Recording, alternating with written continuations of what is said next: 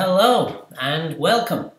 Welcome back to those who have been following the series. Welcome to those who are new to the series, who decided they'd dive in just to watch this video.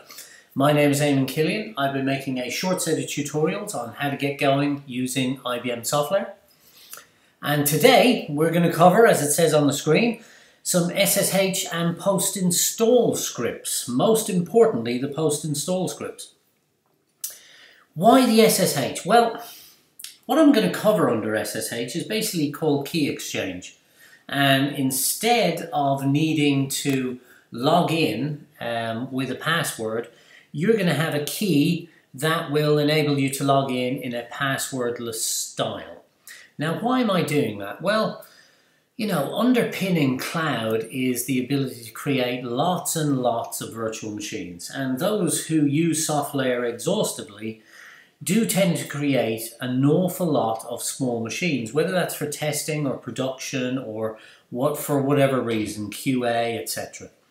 But you end up with a, you know, a vast quantity often of machines. And if you haven't installed like tutorial 20, I think it was, uh, something like a chef or a puppet or a salt stack or one of these configuration management um, applications, it can be very hard to keep those machines, you know, in sync and in lockstep in terms of what packages are on there and what configuration setup those machines have. Equally, um, when you first create a machine, it's a little bit of a pain as we saw way back in the other tutorials, um, possibly around tutorial 3 and 4, as far back as that. Once you create your machine, you then have to go to the portal, click on devices, go to the particular device, click on passwords, grab the password. So I have added a little script on um, on my GitHub page, which will just get you the root password of a machine. So again, it's just a, a handy little utility script that you can download there from Git. But without that, it's still, you know, many, many steps. And what you'd like to do, what I like to do, put it this way, what I like to do is create several machines and know that I can just SSH straight in without needing a password. And how do I do that? Well, I use Key Exchange. So what are we going to cover today? Well, we're going to cover creating an SSH key pair on my local Mac here. We're then going to create a new virtual machine on SoftLayer. We're going to log into that virtual machine. I'm going to create a new admin user. Let's call it sysadmin. Um, I'm going to add that user to the wheel or sudoers file um, with access to be able to do an SU, um, or sorry, a sudo, and then sudo SU to get to root. Uh, we're going to copy the public key, the public side of my key, because when we create that key pair, there'll be a public and a private. We're going to copy the public one to that virtual machine, put it in the right directory, then we're going to be able to log out and log back in and test it's all working without needing a password. Um, we're also going to test that we can become root, again without needing a password, so everything will flow nice and easily. Then, once we've tested that we can do that, we're going to destroy the ability for anyone else to log in via SSH using a password at all. So that will effectively eradicate the ability for anyone to be able to SSH in, unless, of course, they've got your private key. Now, really, they shouldn't be able to ever have access to your private key because it never leaves your machine. So that, that's the idea. It, it enhances your security dramatically. And then one final test, we're going to log out of all of that once we've destroyed the ability of anyone to log in with a password. We're going to test that. We're going to show that we can't log in as root anymore with a password and we're going to do our test again as our sysadmin user and make sure that's working. So that's a real manual way of doing it and that's really, I'm covering that in part one just to show that this is how it occurs and this is what we do. What are we going to do afterwards? Well in part two, it's quite handy that, but it's not quite as handy as it needs to be. So what we're going to do is we're going to create a bash script with all of the commands that we used in part one, and then we're going to put that script onto GitHub. And then we're going to add that script as a post-install script within our SoftLayer environment. Then we're going to create another virtual machine, brand new one, clean virtual machine. And once it's up and running, we're going to log in without a password because our script will have created all of those steps for us. What does that mean? Well, that actually means, in the end, using those scripts, and I put the script on GitHub, you will be able to create many, many, many virtual machines and log in from your Mac or your PC and do it passwordlessly. But also in the full knowledge that every time you create a machine on SoftLayer, you can simply just run this post or ask it to run this post install script as part of the um, cloud virtual machine creation, and you know you will get straight in on that machine and it will have what you expect to see. Now, for those who want to take it further, obviously once you've got that script and you now understand how to do post install scripts, that script can do any number of different things. And if you want to go through the, uh, the full hardening exercises around how to harden your Linux machines, there's no reason why you couldn't add the ability to yum remove and yum install any of the packages that you expect to see. You could deny all the cron jobs. You could disable um, any login other than a particular one. You could set the IP tables using the script we had earlier for IP tables. You could run that script. You could do a wget, grab that script off of um, off of GitHub or wherever you're keeping that script, and then you could run that script as part of the post install. So this opens up an avenue for many, many DevOps options or systems admin options for you using IBM SoftLayer. So without that, without further ado, look, let's get to it. Let's do some, uh, let's do some configuration, and I hope you enjoy this video. Mac, let's get doing some of the technical stuff. I've got myself a terminal here on my local machine. So what do we want to do? Well, I'm in my scripts directory, which is where I keep my actual uh, all the scripts I've been working on. That is replicated up onto GitHub. Um, you will now see on GitHub, if you just want to dive straight in and have a look at the post install security script, um, you'll see it all there. But I'm going to walk through how I got to that script. Um, we want a machine first of all. So let's create machine and it's going to be the new version because I've updated to the new version of the SoftLayer CLI. So I'm going to just run this script. We're going to call it SSH test. Uh, domain name, softlayer.com. Hourly machine. We're going to have a small machine. Operating system is going to be CentOS. And we are going to go in Amsterdam Pod 3. Why not? Um, do we want to do it? Are we sure? Yep, Sending command now. It'll incur charges on the account. Let's just go back and make sure I did choose hourly. Yep. I don't want to end up straddled with a monthly server. Continue, yes, and away it goes. So that will now talk to SoftLayer and create our virtual machine. Give that a couple of seconds, it will come back to us.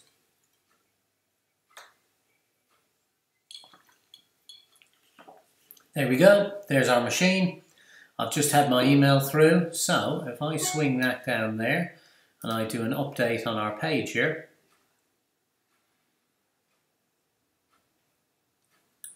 it will show up in just a second.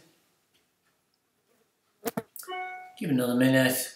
Oh, I've just had my notification on email that it's gone for provisioning. And there it is. Right, so we have our SSH, or we will do in a few minutes. That's fine. We need to do a bit more work here locally. So if I cd to my local directory and I cd from there to .ssh, I do an ls, I've got nothing in there but known hosts. What we want to do is we want to generate our keys. So to do that, I'm using ssh keygen minus t and I'm going to have some RSA keys. It's going to save them into this directory as idrsa and id underscore rsa dot pub. That's fine. We're happy with that. Passphrase, well, you can have one if you want, but it sort of defeats the point of passwordless logon if you then introduce a passphrase as well as a password. Um, so I'm going to leave that blank, and there we go. So in here now, I should have two files. There we go. So this file in particular, id underscore rsa dot pub, is the public key that we want to take. So we will take this entire public key and put it on our server in a minute when it's available. So that's going to take another couple of minutes just to create this server. But once it's up and running, we can log into it as root. Well, what bit of the process is it on now? Cloud provision still. So it won't be there just yet. Give that another couple of minutes. Join me in a second. So welcome back. Everything is up and available now. Our machine is actually fully ready. As you can see, it's not waiting on anything. So we can go to that machine. We can go into passwords, yeah. And we can grab the password. Then we can open up a terminal on our local machine here. Oh, I better keep the, uh, we can go SSH root at, and this is standard procedure I'm going in on the public here. You could go in on the private. It doesn't really matter. 88. Yes, it's a new machine I want to go into. And then we paste the password. Fine. So we're on that machine. It's a lot of steps though, and that's what we're looking to avoid. Um, we're looking to avoid having to remember to go onto the portal, to gain access, to go to that password bit, to grab the password in, to cut and paste in, all of that stuff. What we'd actually like, if we're doing many, many cloud machines, um, and when I say many, to be honest, even in excess of three starts to become unwieldy and frankly annoying to have to do all of these click, click, click, clicks all over the place. Now, I wrote a little script that would allow you, and it's on my GitHub as well, to grab the password. It, it awks and cuts it out of the command line. But even then, it's still a bit of a pain to have to go and do that. So what we're looking to do in this video is create a standard user that you can have, that you will know about, that will allow you to passwordlessly log in once a machine is created. So let's do it manually first to show you the steps you'd take to create a passwordless login. So we want to add a user first, and I'm going to call it sysadmin. That's easy enough. Password, sysadmin, and we'll just have a password on here as well. Why not? So we now have a user with a password. Fine. That, as part of that process, it creates a home directory called home sysadmin and we're going to add to that with a an, oh, SSJ, SSH. We're going to add a .ssh home uh, within that home directory. Once we have our SSH, we now need to go back to our key that we generated just a few minutes ago. And I've grabbed it up here. I want to grab this, all of this, copy that into my buffer, go back up here, and I'm going to echo that key, the public key, into a file within home sysadmin the user dot ssh slash authorized keys. So I'm going to echo that key into there. We can do a quick, a quick more on that. Dot SSH slash authorized, and there it is. That's fine. And if you want to add more keys that are authorized keys, you just echo them to the bottom of the file.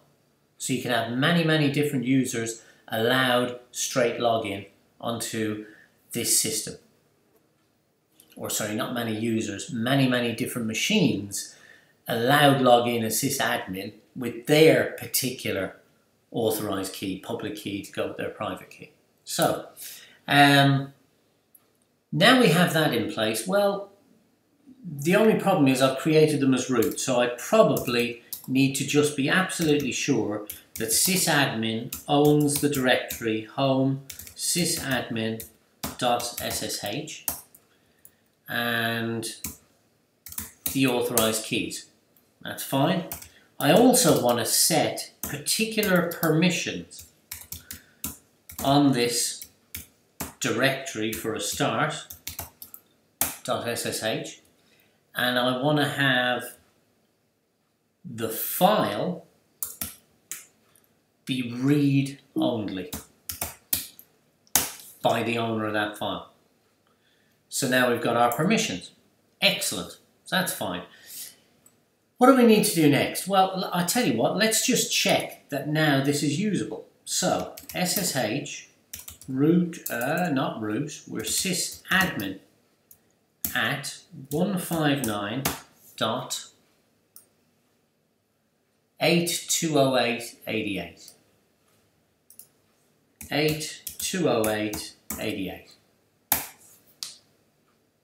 820888. And we're in. You see no password. Perfect. That's exactly what we want to achieve. Now, we want to add that this person can sudo.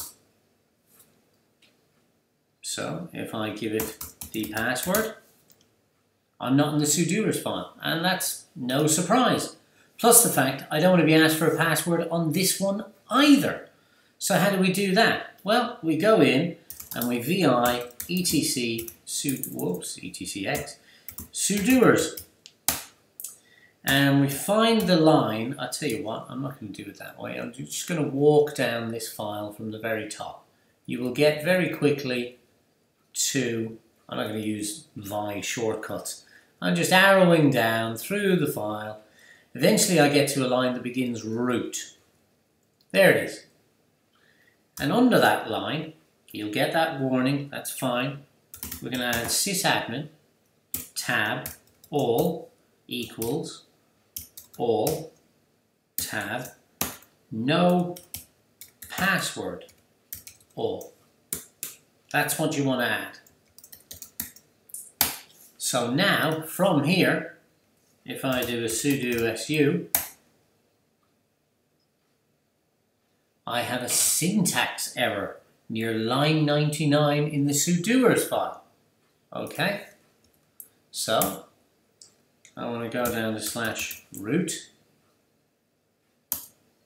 I have obviously done something wrong. What have I done wrong? Oh, look what I've done wrong password is spelled P-A-S-S, not P, not password for our platform as a service. Right, lovely. Let's sudo, there we go. So passwordless login and passwordless sudo. Perfect, that's exactly what we want to achieve. Um, now we know we can do it, but I'm just going to double check, treble check. Can we get in? Yes, we're in sudo su, and we're root. Perfect. Exit, exit.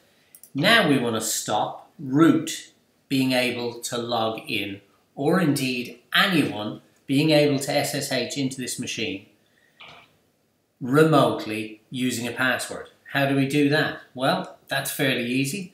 We VI the etc SSH SSHD config file. And again, I'll just arrow down. You go down to a line that says password authentication. It's down here somewhere. Password authentication. And you change that to be no. That destroys the ability for anyone to log in using a password across SSH. Now this can be very destructive if you haven't already configured what we've just done, which was a passwordless logon using our new user sysadmin. So I'm going to save that. Now for that to become active, we have to restart the service. So even though it's systemctl now, we can still do service sshd restart and it redirects it to systemctl. This, I guess, is giving us all an opportunity to learn the new syntax. But that has restarted it, and now if I SS, if I bring up that line again and I use root to log in, nothing. Permission denied. We're not even going to get asked for the password. However, if I go in as systems admin, we're in. So we have access to our machine and we've now manually enabled passwordless access. So just to recap on those steps again, we added the user, created a password for the user, we made a directory called .ssh in that new user's home directory. We popped in a new file called authorized keys into the .ssh directory. We made sure the permissions were read-only on authorized keys and read, write and execute on the directory.ssh. And we also made sure that that directory and the authorized keys file were owned by the user sysadmin. Then all we had to do was add a line to the sudoers saying that sysadmin was allowed to sudo and sysadmin could do that without a password. And then finally we turned off, we destroyed the ability by saying password authentication no in the SSHD config file and then we restarted the SSHD service. And there you have it. That's manually how to get yourself passwordless login using key exchange into your SoftLayer machines. What we're going to do next, because that's useful, okay, don't get me wrong, it's useful, but it was all a bit manual, and hey, if that is supposedly replacing your ability to not have to click around on the SoftLayer portal to get passwords, you know what, I'd give me the passwords any day um, because it's only a couple of clicks.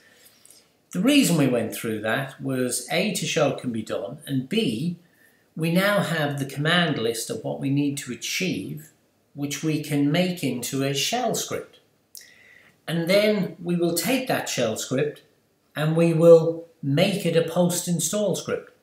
So I'm going to show you how to do that. So starting next, part two, join me then when we'll write a little script to do all of this stuff. Thank you.